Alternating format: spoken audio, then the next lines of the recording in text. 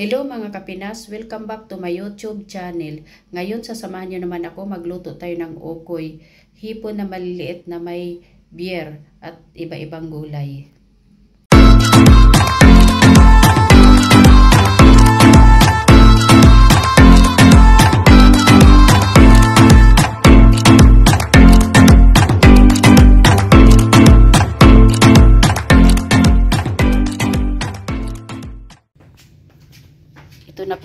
Kapinas ang aking mga sangkap. Unang-una ito po yung hipon, yung maliliit na hipon.